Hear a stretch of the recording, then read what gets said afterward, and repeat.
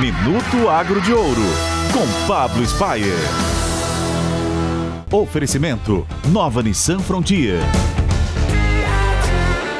Bom dia, bom sábado, Brasil e ouvintes da Jovem Pan. Bem-vindos ao Minuto Agro de Ouro. Nesta semana, como a gente pode ver nessa imagem da refina de Vaicon, os preços do trigo e do milho também, já já vai mostrar, ficaram pressionados e caíram lá na Bolsa de Chicago depois de relatos que a Rússia teria aceitado fazer corredores para que a Ucrânia possa exportar grãos. Segundo o Times, aquele jornal inglês, o Reino Unido estaria considerando até enviar navios de guerra para o Mar Negro para proteger esses cargueiros que transportam esses grãos ucranianos. Mas tem um certo ceticismo por aí, porque a Rússia estaria exigindo o fim das sanções para autorizar essas exportações, autorizar esses corredores. Sem contar que a Rússia bombardeou um monte de campos de cultivo lá na Ucrânia. Já o milho, dá uma olhada aqui, caiu bem, chegou a tocar a mínima, a mínima de seis semanas. Dois eventos derrubaram o preço do milho. Primeiro, o relatório do governo americano de que os agricultores dos Estados Unidos fizeram um bom progresso no plantio durante a semana passada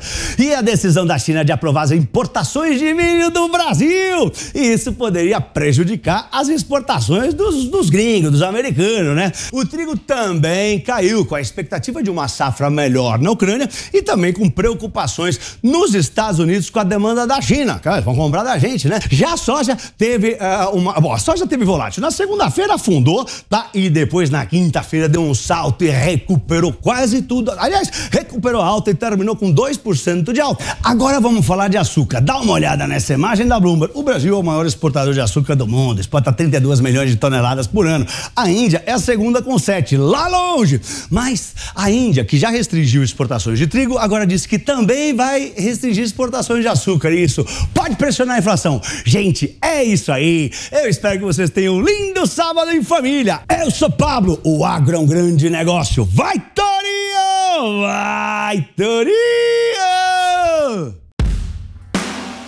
Minuto Agro de Ouro, com Pablo Spayer. Oferecimento: Nova Nissan Frontier.